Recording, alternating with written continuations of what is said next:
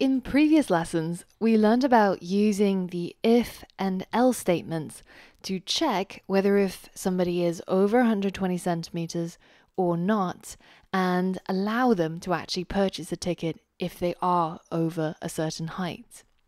Now, in addition to the height, there's another condition that we need to check for, namely their age. If somebody is over 18 years old, then they should be paying the adult price, which is, let's say, $12. But if they are 18 or under, then they should only be paying $7. So, how can we represent this extra condition that we need to check for in our code? Well, we could use something called a nested if else statement. We've seen our if else statements look like this, where it's only got two choices. If this condition is true, do this, otherwise, do that. But in a nested if statement, once the first condition has passed, we can check for another condition. And then we can have another if else statement inside this if condition.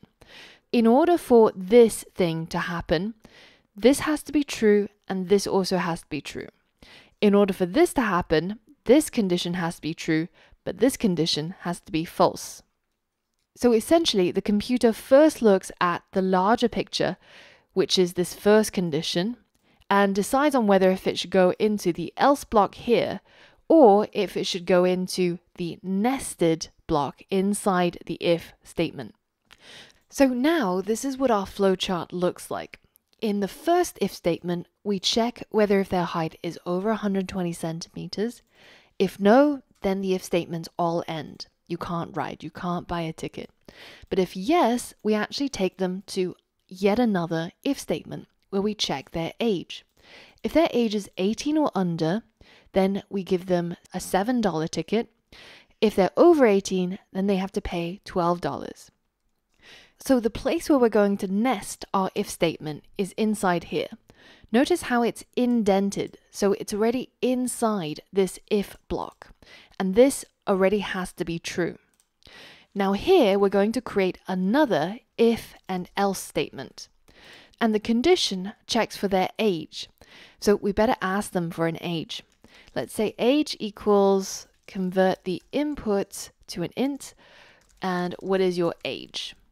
So now that we've gotten hold of their age, we can see if their age is less than or equal to 18, well, in this case, we're going to give them the $7 ticket.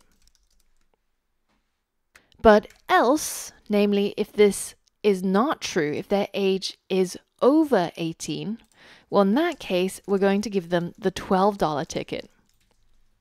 So now we have a nested if statement because this if and else statement lives inside this if statement.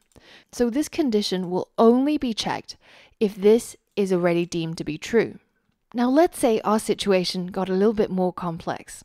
The boss comes over, checks our code, and says, wait, wait, wait, wait. There's actually more price tiers than that. In fact, if you're less than 12 years old, you pay $5 if you're between 12 and 18, you pay $7. And if you're over 18, then you pay the full adult price, which is $12. Now, there are three possibilities. So, how do we represent this in our if statement? Well, we could use something called the elif. Instead of having a simple if else statement where there's only one condition, if it's true, do this, otherwise, do that, you can add as many elif conditions as you want. So we can check for condition one. If that's true, then do A. But if that's not true, then we can continue and check for condition two. If condition two is true, well, then we can do B. And finally, if none of those conditions were true, we can do this final thing. Our flowchart now looks something like this. And this is the logic that we're trying to program. Once we're inside this nested if statement, we're going to check if their age is under 12, in which case they should pay $5. If they're between 12 and 18, then they should pay $7. And finally, if they're over 18, then they should pay $12. Now, the first thing I'm going to check is if the age is less than 12. Under this condition, they should pay $5. So let's change that to 5. Now the next condition should be created using an elif, which stands for else if. So it means if this is not true, else if can you check if this is true? Well, in that case, then we should do this. For example, if the age is not less than 12, so they're over 12, then are they under 18? Well, then this condition basically catches everybody who's between 12 and 18. And finally, if they're not less than or equal to 18 and they're not less than 12, then that's everybody else who is over 18. Now, remember that we can use as many elif conditions between the if and else as we like. So I could add another elif that checks whether if the age is less than, uh, say, 22. Well, in this case, do something else. And then I can keep going with these elifs until I'm done with all my conditions. So have a play around with this code, write it yourself, see if it makes sense, and then mess around with the elifs so that it does what you expect it to do.